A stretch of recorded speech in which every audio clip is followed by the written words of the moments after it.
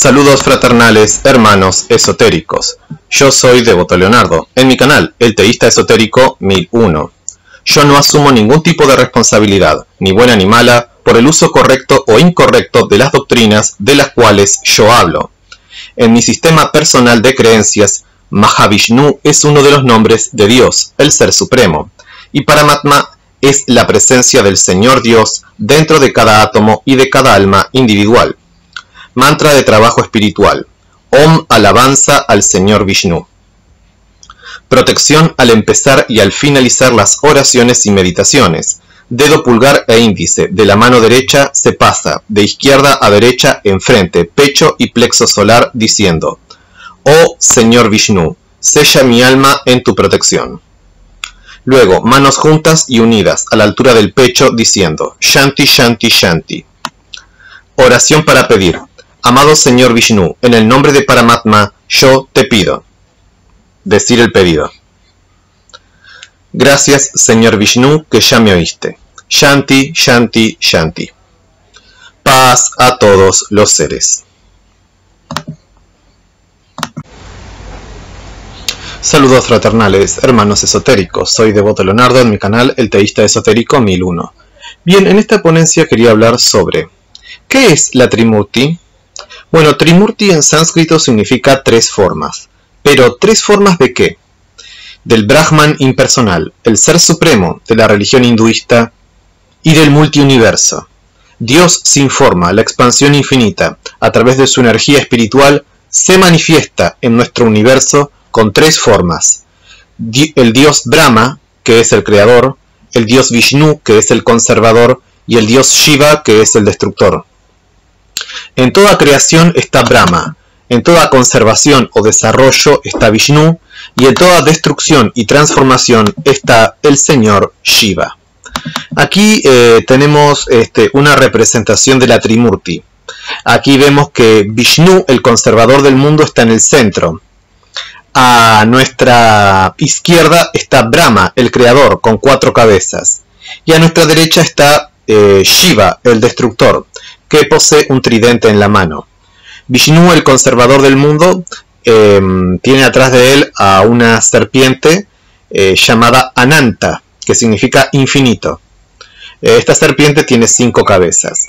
Y bueno, el señor Vishnu está coronado con una corona de oro, eh, que tiene una pluma de pavo real en la cabeza. Porque claro, en una de sus encarnaciones en la Tierra, Vishnu fue Krishna, y uno de los atributos de Krishna es la, pluma de pavo real en la cabeza, ¿verdad? Eh, los tres están parados cada uno sobre una flor de loto, y estas tres flores de loto están flotando en el océano primordial, que luego daría origen al universo. Esta es la representación de la Trimurti que más me gusta a mí. O sea, para que la gente entienda, eh, la Trimurti son, tres manifestaciones del Ser Supremo. La Trinidad en el hinduismo es la Trimurti, formada por Brahma, Vishnu y Shiva. Eh, es la Trinidad de las tres energías creadoras. Pero el ser supremo del hinduismo no es ni Brahma, ni Vishnu, ni Shiva. El ser supremo del hinduismo es Brahman. Pero bueno, se acepta que Brahma, Vishnu y Shiva son tres formas asumidas por él. ¿Pero son la manifestación más elevada de Dios en el hinduismo? No. Por encima de Brahma, Vishnu y Shiva se encuentra Mahavishnu, la suprema personalidad de Dios. Eh, Mahavishnu es Dios en su aspecto personal, que luego se extiende como Vishnu y luego se extiende como Paramatma, la superalma dentro del corazón de cada quien, que es la forma de Vishnu parado sobre una flor de loto dentro de nuestro corazón. Entonces en Vishnu hay tres grandes manifestaciones. Mahavishnu, que es la primera emanación de Brahman, Vishnu, que luego da origen a Brahma y a Shiva, y Paramatma, la forma Vishnu dentro del corazón. Em, vamos ahora al significado de los nombres de cada uno de los tres miembros de la Trimurti. Brahma significa aquel que expande. Eh, digamos es, es, el que hace crecer, es el que hace, el que crea las, el que crea todas las cosas. Aunque su nombre significa aquel que expande. Eh, Vishnu significa el que todo lo penetra. Vishnu está dentro y fuera de todas las cosas. Vishnu, eh, Dios Vishnu es amor inmanente y realidad trascendente.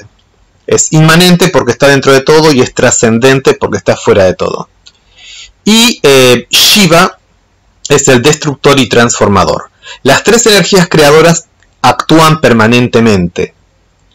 Este, mm, en todo proceso de creación, conservación y destrucción. Ese ciclo se va repitiendo eternamente. Por ejemplo, el día nace con el amanecer, se desarrolla en el, en el mediodía y luego decae y desaparece en el atardecer. Ahí están, y después ese ciclo de amanecer, mediodía y atardecer se vuelve a repetir eternamente.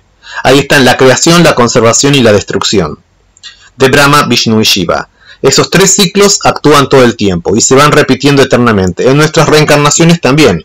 Nacemos, vivimos y morimos. Y luego volvemos a nacer, volvemos a vivir y volvemos a morir. Y así el ciclo se repite eternamente.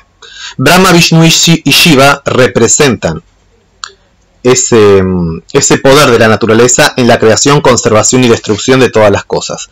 Las tres energías creadoras. Em, eh, Brahma, si tuviéramos que aplicarle un rayo de acción, actúa en el rayo rosa de amor. Este, Vishnu, el conservador, actúa en el rayo amarillo de sabiduría. Y Shiva, el destructor, actúa en el rayo azul de poder. Se dice que Shiva gobierna la ley de síntesis, Vishnu gobierna la ley de atracción y, Brahma eh, simboliza o canaliza la, la, ley de economía, o mejor dicho, de, de interdependencia. En el universo todos dependemos de todos para desarrollarnos, ¿no? Ahí está la fuerza de Brahma, la interdependencia. Uno mejora en la vida cuando logra hacer que los engranajes de la interdependencia funcionen bien. La ley de atracción también es la ley de repulsión. Eh, atraemos lo que es acorde a nuestro nivel de conciencia en nuestra vida. Y Shiva es la ley de síntesis, porque todo, por más complejo que sea, se puede comprimir a un estado más sintético. Para poderlo entender mejor, o bien este, mm, para poder aplicarlo mejor. Todo puede simplificarse. Eso es lo que representa Shiva. Por, ese, por ejemplo, si yo digo más 1, más 3, menos 1, el más 1 con el menos 1 se pueden simplificar a 3. Y si hacemos la cuenta 1 más 3 este, menos 1, nos queda 4, ¿no? Y 4, o sea, nos queda 1 más 3, 4. Y 4 menos 1, 3. Entonces en vez de hacer toda la cuenta se simplifica el más 1 con el menos 1 y queda 3 directamente, sin necesidad de hacer la cuenta. En definitiva, 1 más 3 menos 1 es lo mismo que decir 3. Entonces eso es lo que representa el señor Shiva, la síntesis, la simplificación. ¿Para qué usar 30 palabras para decir algo que podés decir en 3 palabras? Em, lo cual nos sirve para hacer mantras. Eh, los mantras eh, son útiles porque nos permiten hacer un montón de oraciones a Dios en muy pocas palabras. Por ejemplo, Om alabanza al Señor Vishnu. Eh, Vishnu es absoluto, entonces todos los atributos del Señor Vishnu están incluidos en su nombre. No hace falta enumerar todos los atributos de Vishnu. Con decir Om alabanza al Señor Vishnu, ya está todo incluido. Vishnu es absoluto, entonces al pronunciar su nombre ya estamos conectando con él. Bueno, tenía ganas de hablar un poquito eh, sobre este tema, eh, pero desde la conciencia espiritual, no desde una visión académica. Los hindúes piensan esto, los hindúes piensan lo otro. No, yo, digamos, internamente, ¿cómo conecto con la Trimurti? Conecto con la Trimurti, con la Trimurti a través del pensamiento y de la palabra, de los mantras.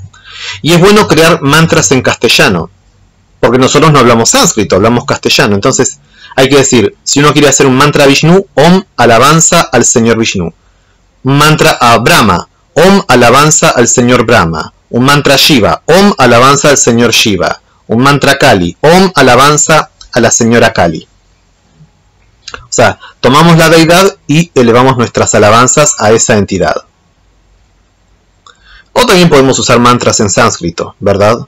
en castellano o en sánscrito. Para mí es mejor en castellano, porque por ley de mentalismo lo que tú piensas tiende a manifestarse. Entonces, si tú entiendes lo que estás diciendo, es mucho mejor que si no lo entiendes. Cuando la India dice que el sonido es creador, eso es algo simbólico. Está hablando del poder creador de la palabra, que es el pensamiento hablado. Pero si no entiendes lo que estás diciendo, entonces lo que estás diciendo no tiene tanto poder. El sonido no creó al universo. En el espacio vacío no hay sonido, porque no hay aire que transmita el sonido. Entonces es algo metafórico lo que dice el hinduismo. Hay gente que lo toma literalmente y cree que los mantras en sánscrito son mejores que los mantras en castellano. No, no es así.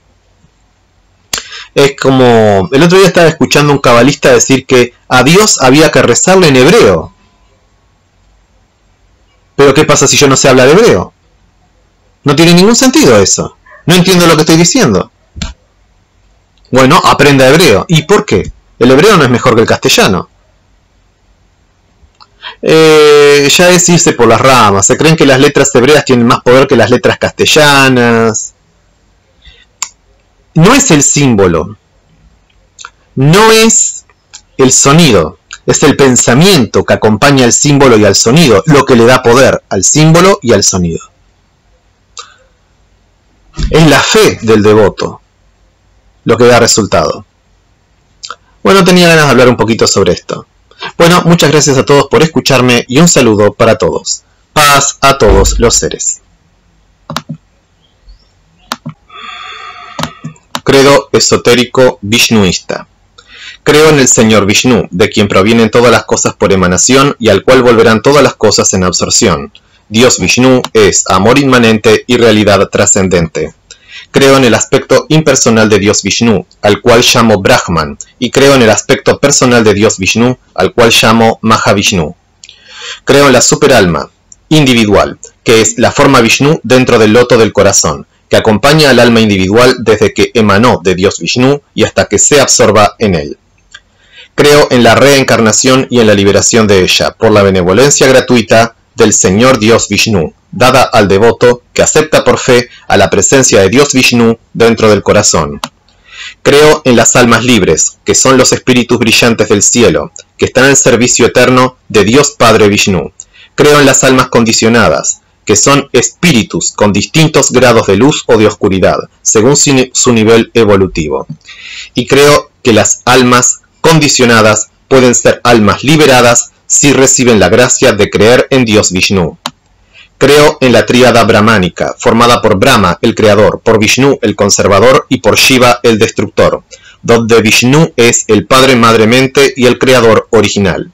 Y solo Vishnu es Dios, mientras que Brahma, el creador de nuestro universo, y Shiva, el transformador de nuestro universo, son ángeles especiales al servicio eterno del Señor Vishnu, que es el único Dios. Creo en la energía espiritual que emana del Señor Vishnu, con la que Él creó a todas las cosas, y creo en mi Dios interno, pues uno solo junto a Dios es lo bueno, y todo lo demás sobra. Creo en comer, en beber y en vestir, lo que yo quiera, y soy un espíritu libre en el Señor Vishnu, quien es mi único maestro. Creo en los santos ángeles y en los espíritus de luz, en el perdón de los pecados y en la dicha eterna. Shanti, Shanti, Shanti. Emanaciones del Señor Vishnu. Según algunos iniciados, por debajo de Parabrahman, que es el aspecto impersonal del Ser Supremo, se encuentra Mahavishnu, que es el aspecto personal de Dios. En la cima del multiuniverso se encuentra Mahavishnu, el Ser Supremo, en su aspecto personal, recostado sobre la serpiente Ananta de cinco cabezas, que está en medio de un océano inmenso de causas. De cada uno de los poros de su piel emana un universo, con la forma de un huevo, lleno hasta la mitad de agua, y en cada universo hay un señor Vishnu que está recostado sobre una serpiente que flota sobre un océano inmenso de concepción. De su ombligo nace una flor de loto, y de su interior nace un señor Brahma de cinco cabezas. Pero el señor Brahma separa su quinta cabeza de su cuerpo, y con ella crea al señor Shiva, el destructor. De esta forma, desde entonces, Brahma es el creador, Vishnu es el conservador, y Shiva es el destructor y transformador en el universo entero. El señor Brahma de cuatro cabezas, con el poder de su palabra y con materia preexistente, crea el universo en el cual vivimos y crea cuerpos para las almas que por alguna razón desconocida se han alejado de la presencia de Mahavishnu para tener varias existencias materiales. En nuestra galaxia, la cual tiene forma de plato o espiral, se encuentra una extensión del señor Vishnu, que está recostado sobre una serpiente que flota sobre un, océano eh, sobre un océano inmenso de leche. Cada átomo y cada alma individual tienen en su interior a Paramatma, la superalma, que es la forma Vishnu dentro del corazón. Quien cree en las formas de Vishnu, que son Mahavishnu acostado sobre el océano causal, Vishnu acostado sobre el océano de concepción y Vishnu acostado, acostado en el océano de leche, y Paramatma o Vishnu parado sobre una flor de loto dentro del corazón, ya está liberado de la rueda de renacimientos y muertes y está liberado de todo condicionamiento material. El señor Vishnu, a través de una chispa de su ser, ha descendido al mundo material muchas veces. Cada átomo y cada alma individual es una chispa del ser del señor Mahavishnu, pero hay ocho descensos del señor Vishnu que son muy especiales y que son adorados como extensiones especiales del señor Vishnu. Ocho han sido los avataras o descensos del señor Vishnu en los mundos inferiores, y cada vez que bajó a nuestro mundo ha traído luz y libertad. Los ocho grandes avataras del señor Vishnu han sido, primero, Matsya, el pez, segundo, Kurma, la tortuga, tercero, Baraja, el jabalí, cuarto, Narasinga, la encarnación mitad hombre y mitad león, quinto, Vamana, el sacerdote enano, Sexto, para el sacerdote guerrero con hacha. Séptimo, Rama, que significa placer, rey de la rectitud, con arco y flechas. Octavo, Krishna, el oscuro o el atractivo, rey, guerrero, sabio, maestro y amante, que destruyó demonios encarnados y reveló sabiduría espiritual. Se cuenta que habrá un descenso más de Vishnu, el noveno, que será Kalki, caballo, que aparecerá como un guerrero con espada, montado sobre un caballo blanco, para destruir al mal y reinaugurar una nueva edad de oro. Hay quienes creen que estos avataras de Vishnu aparecen cíclicamente y que por lo tanto ha habido muchas edades de oro anteriormente en humanidades anteriores. Del Señor Vishnu emanan nuestras almas y a él volverán en absorción. Del Señor Mahavishnu emanan Brahma y Sarasvati, Vishnu y Lakshmi, Shiva y Kali. Del Señor Mahavishnu, que es la magna presencia yo soy, emanan los siete rayos creadores, los siete arcángeles, los siete devarrajas y los siete archidemonios. Así como los siete Elohim. Del Señor Mahavishnu emanan el Logos cósmico, que es Vishnu, junto a Brahma y a Shiva. Del señor Mahavishnu emanan el Logos solar, Padre Helios, y el Logos planetario, Madre Gea. Del señor Mahavishnu emanan los siete Elohim de la creación del planeta Tierra. Los siete arcángeles son San Miguel Arcángel. Miguel significa semejante a Dios, actúa en el rayo azul de poder. San Jofiel Arcángel. Jofiel significa belleza y luz de Dios, actúa en el rayo amarillo de sabiduría. San Chamuel Arcángel Chamuel significa el que busca y ve a Dios. Actúa en el rayo rosa de amor. San Gabriel Arcángel. Gabriel significa fuerza y protección de Dios. Actúa en el rayo blanco de ascensión. 5. San Rafael Arcángel. Rafael significa sanación de Dios. Actúa en el rayo verde de la verdad y de la sanación. San Uriel Arcángel. Uriel significa fuego de Dios, actúa en el rayo naranja de la abundancia. San Zadkiel Arcángel. Zadkiel significa justicia de Dios, actúa en el rayo violeta de transmutación. Los Deva Rajas son San Indra Deva. Indra significa cielo y su título Deva significa luminoso. Es el Deva del cielo y del rayo, actúa en el rayo azul de poder.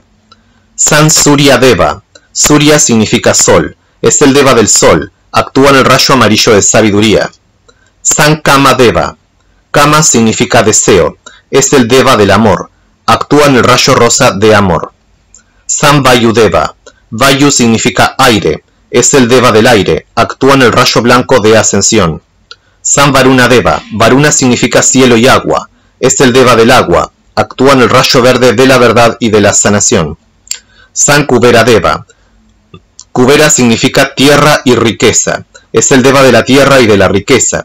Actúa en el rayo naranja de la abundancia. San Agni Deva. Agni significa fuego. Es el Deva del fuego. Actúa en el rayo violeta de transmutación. Los siete suprademonios o los siete archidemonios son Satán, suprademonio. Satán significa adversario, actúa en el rayo azul de poder. Belial, suprademonio. Belial significa el de ganancia corrupta, actúa en el rayo amarillo de sabiduría. Lucífugo, suprademonio. Lucífugo significa el que huye de la luz, actúa en el rayo rosa de amor.